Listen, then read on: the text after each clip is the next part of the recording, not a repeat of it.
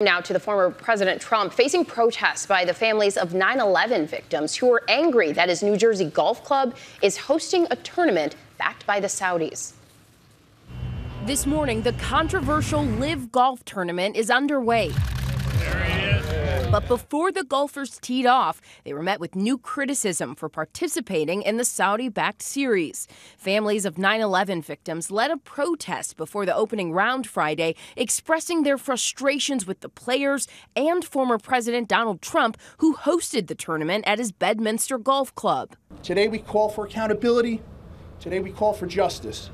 The Saudi Arabian government and whoever attaches their name and reputation to this farce must be called out for what they're doing. We're standing here in the backyard of where 750 people were turned to dust. Families of the victims accusing Trump of turning his back on the U.S. Nobody's gotten to the bottom of 9 11, unfortunately, and they should have, as to the maniacs that did that horrible thing to our city, to our country. In 2016, Trump directly blaming the Saudis for the attack on 9 11.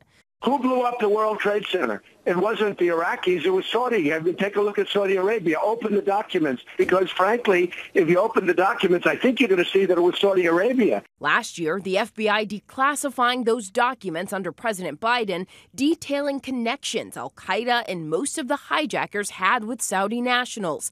The Saudi government has always denied any involvement. Tim Froelich, a 9 11 survivor, calling out the former president. Mr. Trump, we now have the documents. Simply, you lied to our face.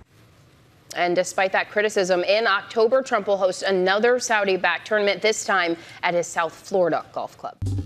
Well, hey there, GMA fans. Robin Roberts here. Thanks for checking out our YouTube channel. Lots of great stuff here. So go on, click the subscribe button right over, right over here to get more of awesome videos and content from GMA every day, anytime.